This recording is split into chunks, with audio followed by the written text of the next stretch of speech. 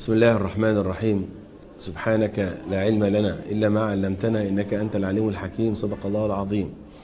تحيات عاطرات أرسلها لكم أبنائي الطلبة والطالبات وكل عام وأنتم بخير.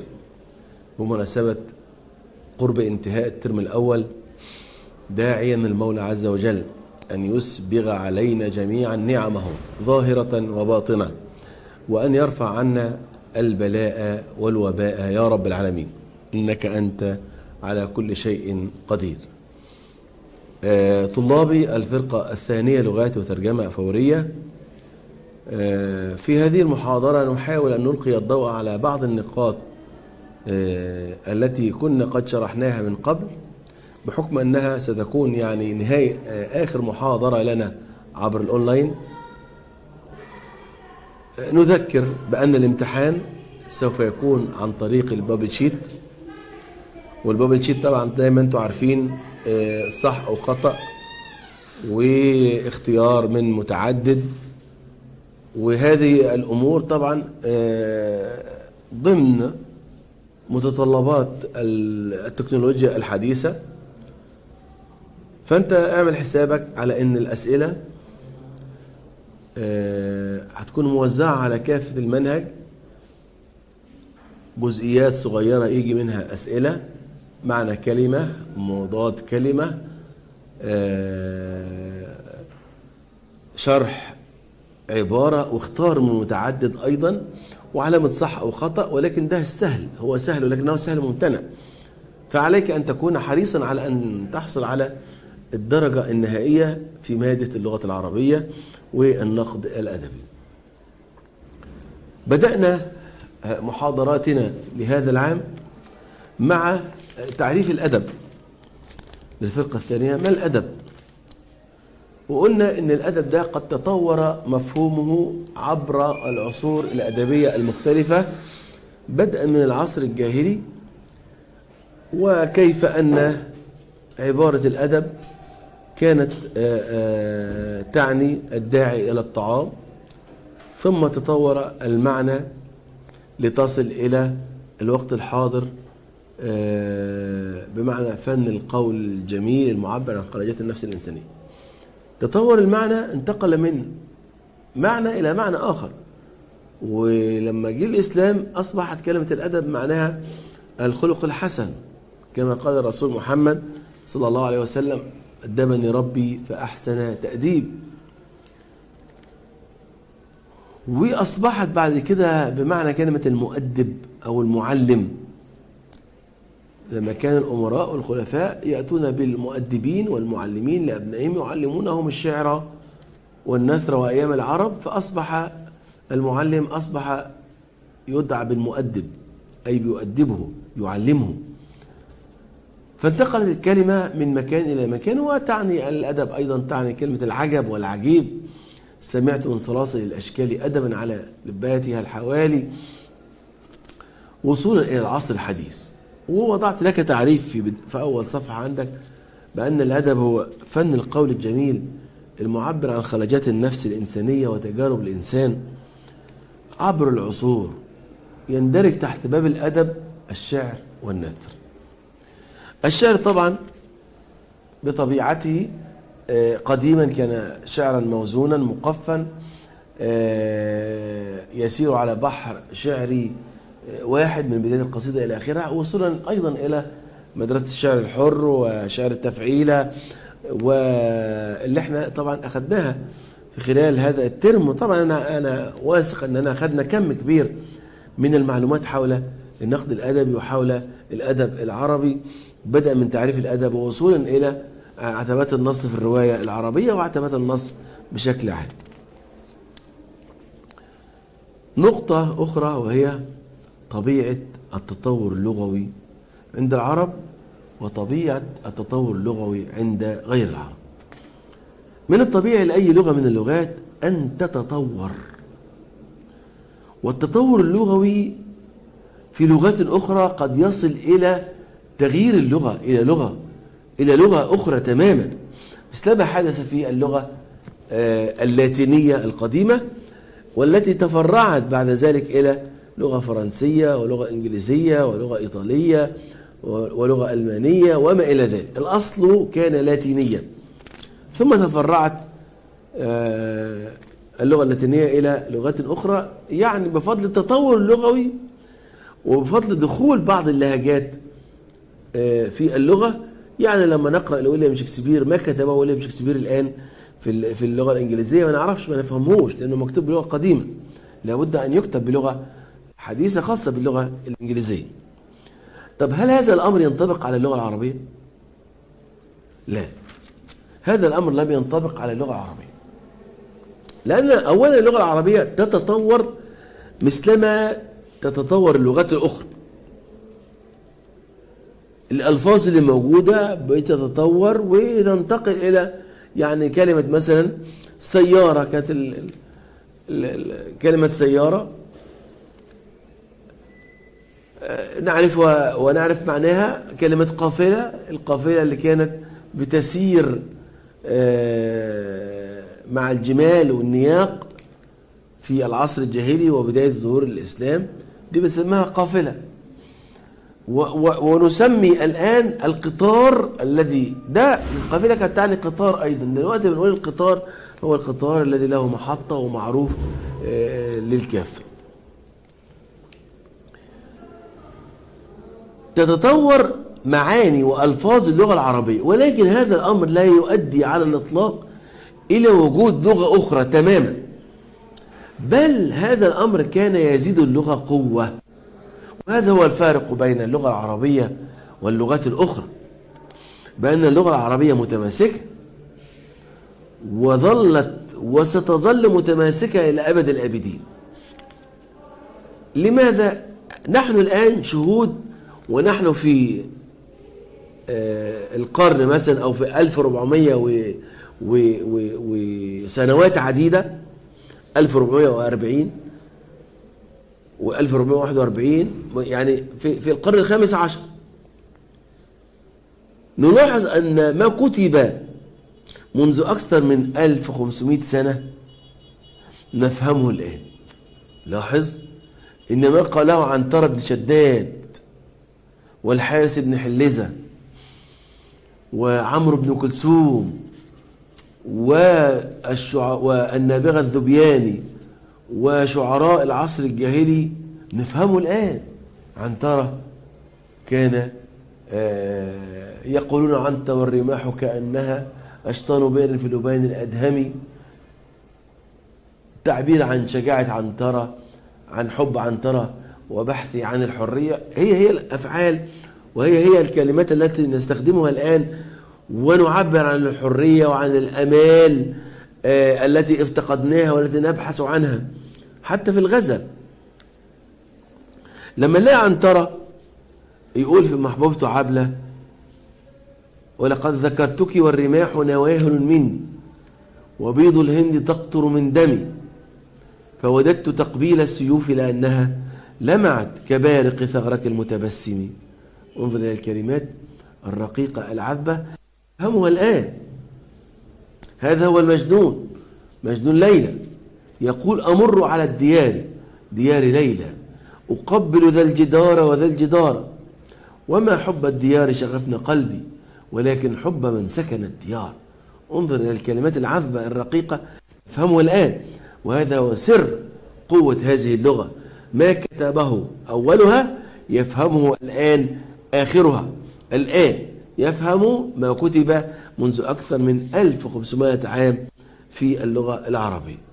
يعني آه، امرؤ القيس كان يقول وليل يصف حال المهموم وحال بالليل الذي يطول أن الليل يطول على المهموم. يقول وليل كموج البحر أرخى سدوله علي بأنواع الهموم ليبتلي. فقلت له لما تمطى بصلبه وأردف أعجازا وناعب كالكلي ألا أيها الليل الطويل ألنجلي بصبح وما الإصباح منك بأمثله نعم.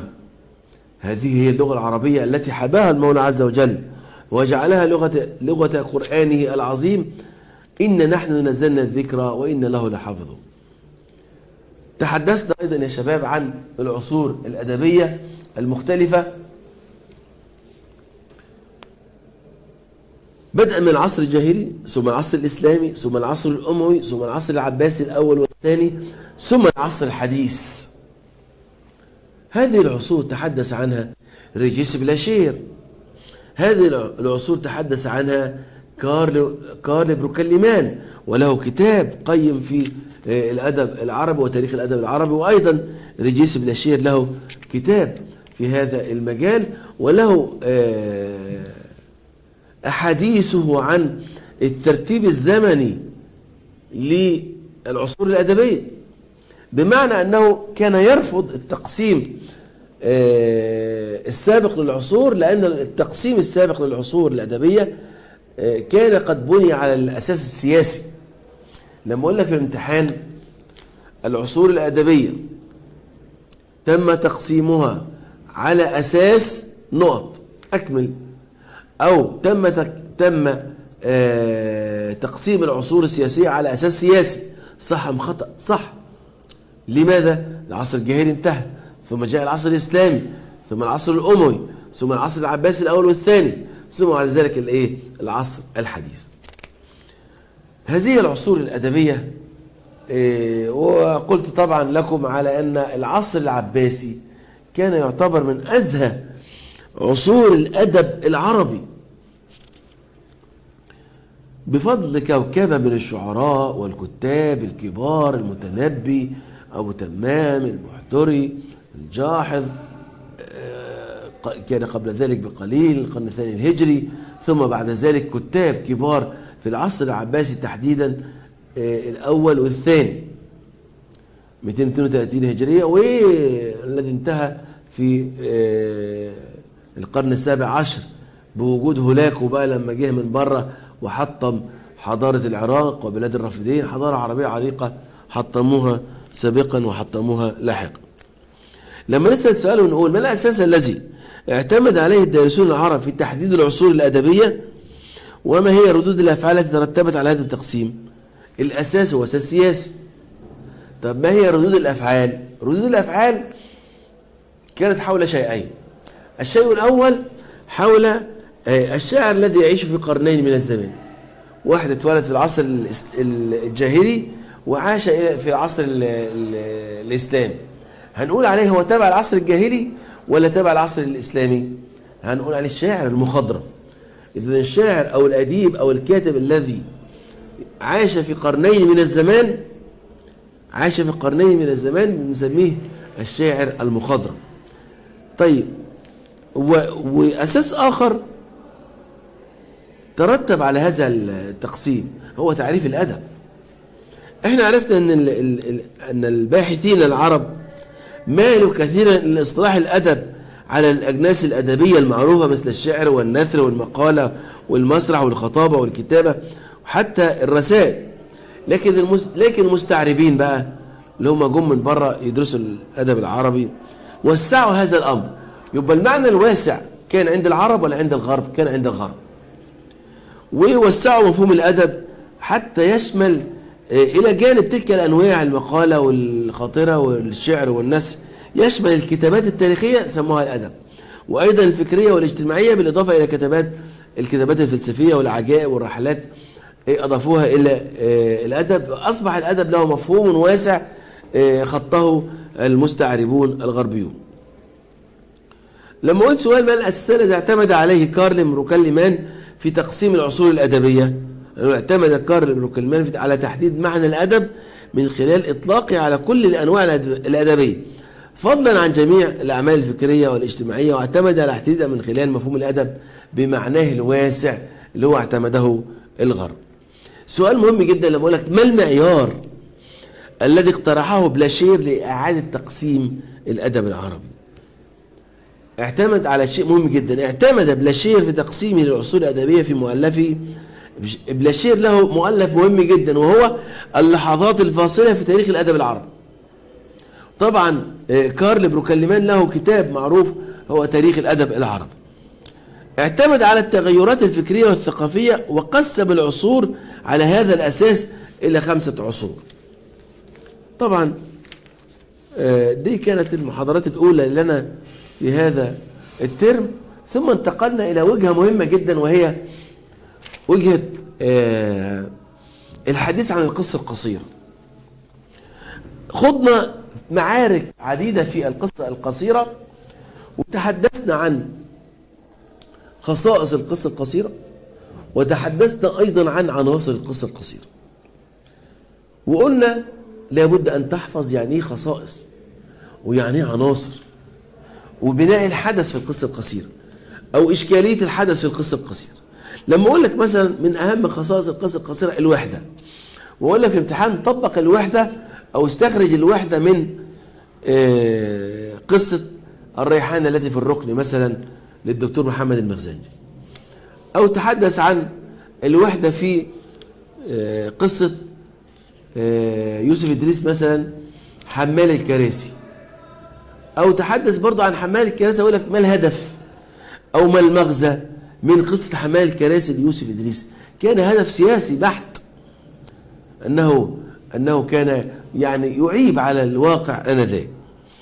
آه، من ضمن خصائص القصة القصيرة إحنا قلنا الوحدة التكثيف والدراما.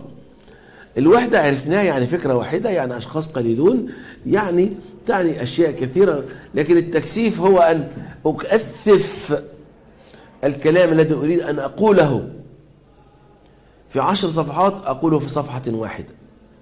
ما أريد أن أقوله في صفحتين أقوله في صفحة واحدة. بمع- بمعنى أن الكلام الذي أكتبه يكون فيه تكثيف أي أن الكلام الذي أكتبه فيه دلالة على كلمات أخرى ممكن أن تكتب. لذلك لما درسنا قصة موت موظف للكاتب الروسي تشيكوف أنطوان تشيكوف. قلنا فيها آه، تكثيف دلالي وتكثيف بنائي كمان. موجود موجود التكثيف البنائي والتكثيف الدلالي في هذه القصة العجيبة. وصلنا إلى جزئية مهمة في القصة القصيرة وهو وهي آه، الحدث. بناء الحدث وصياغة الحدث. طبعا ده موضوع مهم جدا للطلاب اللي طبعا إن أنا اكتشفتهم صراحة بيكتبوا بيكتبوا آه، قصة وجابوا لي قصص ونشرنا كمان قصص في الصحافة اليوم تشجيعا لهم وأدعو كل الطلاب إلى الكتابة. الكتابة زي ما قلت لك ده سر الخلود. الكتابة هي سر الخلود. علينا أن نكتب ونكتب حتى نعيش أعمارا فوق أعمالنا وأزمانا فوق أزماننا. قلنا الحدث وطرائق بنائه في الطريقة التقليدية في الطريقة الحديثة. الطريقة الحديثة اللي بيبدأ فيها القاص بالمشكلة بالمشكلة ثم طريقة الارتجاع الفني اللي هي بنسميها الخطف خلفا. نأتي إلى صياغة الحدث. كيف يصاغ الحدث؟ يصاغ الحدث إما عن طريقة التر- الترجمة الذاتية. يعني إيه الترجمة الذاتية؟ يعني لما أقول لك مثلا كتبت خرجت لعبت دي ترجمة ذاتية. بتكلم على نفسي. بتكلم عن نفسي. بتكلم عن نفسي من خلال استخدام تاء الفاعل. أو طريقة السرد المباشر. والسرد المباشر يعني أتكلم عن الهواء والهية الغائب. طيب ثم طريقة الوثائق والرسائل والمذكرات. دي طريقة من طرق صياغة الحدث في القصة القصيرة. طبعا عندنا من عناصر القصة القصيرة أيضا الفكرة والبيئة والزمان والمكان والحبكة وعلامات الترقيم. من الأهمية بمكان علامات الترقيم عندنا يا شباب نفهمها كويس أو نعرفها كويس أوي. عندنا آه، طبقنا الوحدة والتكثيف والدراما على قصة الريحانة التي في الركن. يعني في عجالة كده بنراجع على بعض الأمور. يوسف إدريس قصة حمال حمال الكراسي وقصة نظرة هي من الأهمية بمكان. وعندنا قصة آه، مجموعة مجموعة آه، عصافير الروح للقاص سمير فوزي وقلنا ال- القصص اللي موجودة كيف صاغ الكاتب الحدث فيها وكيف بنى الحدث فيها وصولا إلى آه، حديث عن المقال وكتابة المقال وكيف نكتب المقال وانتهاء طبعا ب آه، الشعرية وعتبات النصوص. كيف نكتب المقال ده مهم جدا؟ إزاي نكتب مقال؟ ودللت لك على مقال ليا منشور في- جريدة الحوار الجزائرية وده من الأهمية بمكان وناتي إلى الشعرية وعتبات النصوص دي اللي ختمنا بها الكتاب آه، الشعرية وعتبات النصوص ما معنى الشعرية؟ وهي البحث في الإبداع وعبارة عتبات النصوص. طبعا كما تعلمون هذا الكلام ذكرته في المعجم المفسر لعتبات النصوص. وذكرت أيضا آه، في كتابي عتبات النص في الرواية العربية الحديث عن عتبات النص. لكن عبارة الشعرية أنا, أنا, أنا تعمدت أن أجيب لك جزء بسيط جدا عن الشعرية في نهاية الكتاب لسببين. السبب الأول يبقى في في دماغك حاجة اسمها الشعرية. السبب الثاني أن تعلم أن الشعرية هي البحث في مناط الإبداع عند الأدباء وعند المثقفين وعند آه، الكتاب بشكل عام. آه، إلى هنا يعني هذه العجالة. آه، حاولنا أن يعني نطوف فيها ونجول بسرعة حول الموضوعات التي قمنا بالحديث عنها من خلال كتاب اللغة العربية والنقد الأدبي للفرقة الثانية. على أمل إن شاء الله بإذن الله تعالى نلتقي في الترم الثاني أيضا عبر هذه المحاضرات. أتمنى لكم جميعا التوفيق والنجاح والسداد. ها هو ذا يحييكم أستاذكم الدكتور عزوز علي إسماعيل والسلام عليكم ورحمة الله وبركاته.